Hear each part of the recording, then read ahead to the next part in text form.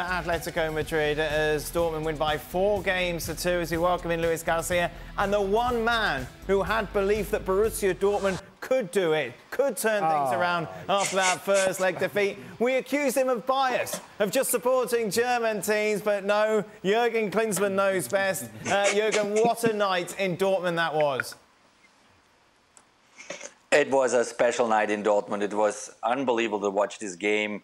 Um, obviously, it started furious. You know, after three, four minutes, it could have been 1-1 already. Sabitzer had a big chance. Then, then Morata had the other one. It could have been 1-1 already after five minutes, basically.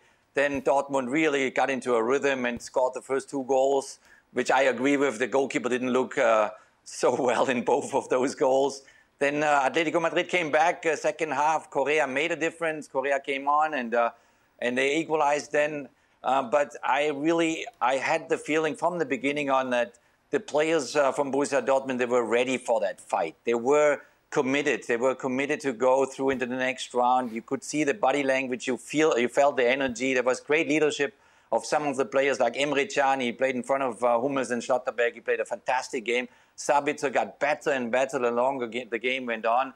And when you look at the, the third goal, when you look at that goal from Füllkrug, um, just fantastic. The fantastic run that he makes. You know, he loses his defender. He goes in front of him then and uh, scores that header.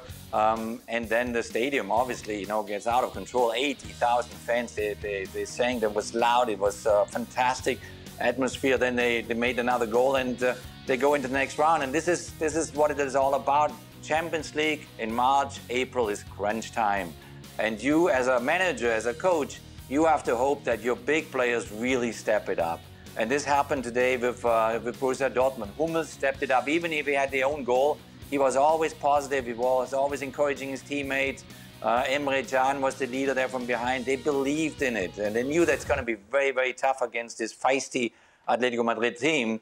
But uh, they made it happen, and uh, yeah, I, I, think they really deserve to go through into the semis now.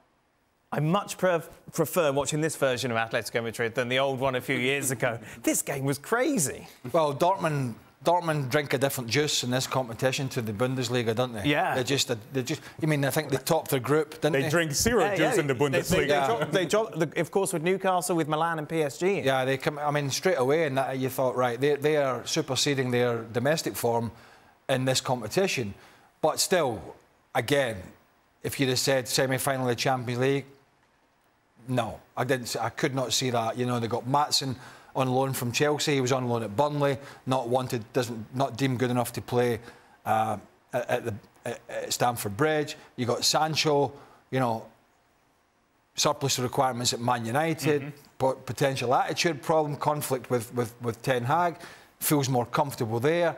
You know, and Füllkrug's goal, as Ale mentioned, that was an absolute. You know, you talk about a striker's goal, mm. early ball, you know, ball in the box, gets across his defender, terrific, just absolutely terrific. But do you remember we used to say nobody wants to play Atleti? Nobody's saying that now because I talked about this the other day. They're not keep. I think it, eh, it, eh, the last time they kept a clean sheet was around February time. They're just not keeping this. This dire dull Atleti is just not keeping clean sheets. Even at the weekend against Girona, lost a goal. You know, should have lost two when they, they, they should have had a penalty against them, won the game. But they're just not solid at the back. And that's a problem. And, and in some sense, they were even lucky to be in this position that they're in. Because if you remember the game in the San Siro against Inter, the only reason the second leg was achievable was because Inter Milan were so wasteful in the final third. Otherwise, you know, Atleti were, would have been out. So the warning signs were there uh, and have been for a while. But Dortmund took advantage of it. Inter will be kicking themselves because Inter, that game should have been 3 or 4 nil easily in the San Siro. It wasn't, and they allowed Atleti back in. But I did say this for Dortmund uh, the way that the ties worked out was much much more beneficial for them. The fact that they go back to Dortmund in the second leg rather than having to go to the Metropolitano. That worked out really well for them, but they took advantage of uh, it. Jurgen, just explain how you can have a team that's 23 points off Bayer Leverkusen at the top of the table in the Bundesliga that can go through a group, as Craig mentioned, that included Milan, PSG, and Newcastle, can now beat Atletico Madrid, and can now be in the semi finals of the Champions League. How can their form be so different within these two competitions? Yeah, it's it's really hugely difficult, hugely difficult to keep the same form in all competitions, in a normal championship, in your cup competition, in the domestic one, and obviously in the European leagues. And uh, um, this makes a huge, huge, a big team, obviously, at the end of the day. And, and uh, um, Dortmund struggled with that. The whole season is struggled with that to have uh, consistency in the Bundesliga, in the German Cup. And uh, but for whatever reason, they stayed. They stayed on a good track in the Champions League, and they they kicked out big, big names. Um, and uh, they're capable to make miracles happen, especially at their home stadium, because it's it's just rocking when you when you play in that stadium, you play literally with a man more because these these people they push you. When uh, uh, Correa scored the equalizer, it was quiet for about a minute, a minute and a half, and then suddenly you you heard 80,000 people screaming for Dortmund, pushing them forward, giving them belief, and they started to run, they started to fight, and they started to believe in it again, and they turned it around. And this is, uh, yeah, it is inconsistent what happens throughout the, the season with Borussia Dortmund. But on the other, on the other side, it's it's gorgeous to see. It's really fun to watch. That this is possible. That it's doable to be in the semi-final of the Champions League, even if you had a bad domestic season. What's funny, Ale, as well, is that every time they cut to Edin Terzic on the touchline, like, mm. oh, he's still in the job. Yeah. Because he's like, you feel like he's been sacked four or five times already this season. and, and he had been hanging on. And the reason he had been hanging on is because of the success in Champions League. Because the struggles for Borussia Dortmund in Bundesliga, you just mentioned in the numbers, they have been inconsistent is a nice way to put it.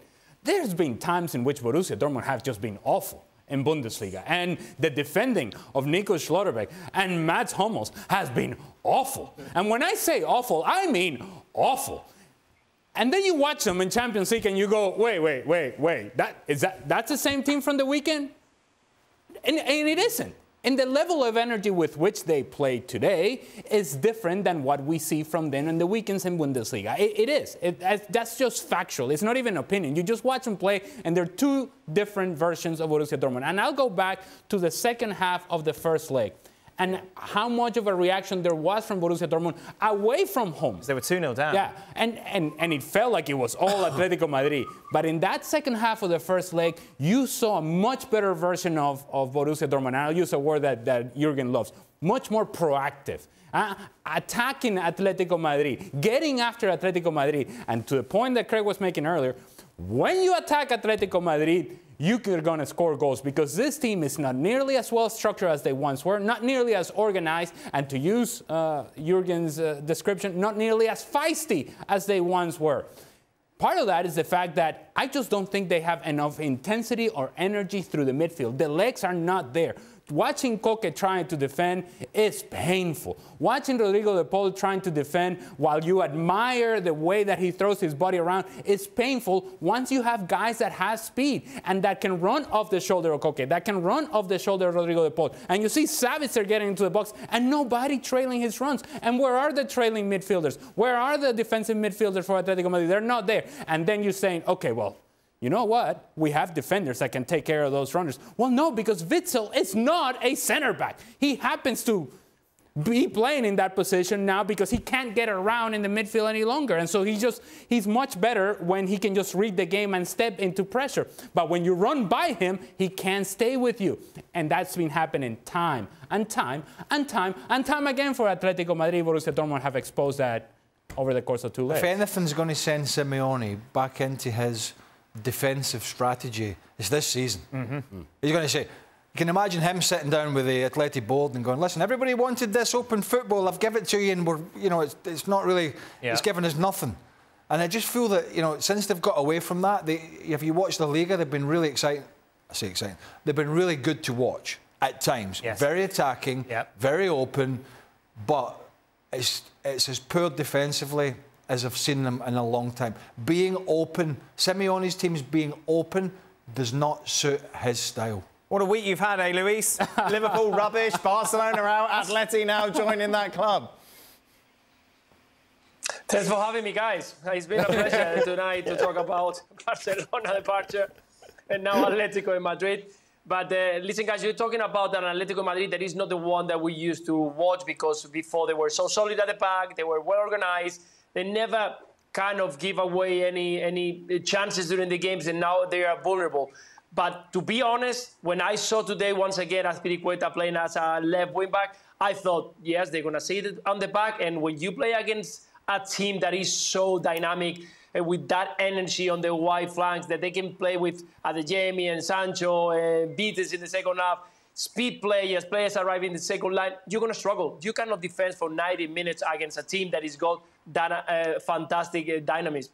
You cannot defend during 90 minutes with the players who are moving all around the places, floating and, and changing position and arriving in different directions.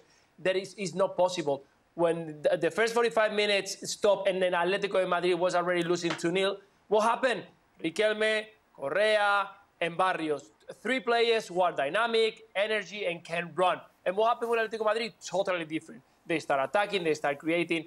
Why Atletico Madrid, when they are in a moment of that they have to defend, instead of defending, going forward, instead of defending, attacking the opponent and making them problems, they decided to sit at the back and wait to see what happens because this is not the first time it happens. We've seen this last year and the year before and the year before. That's something that I don't understand. Why arriving to this uh, point where Atletico Madrid, we are talking that they are good going forward, but they decided to sit at the back and wait to see those transition, quick transitions. I prefer an Atletico Madrid that go forward, goes open, and see what will happen.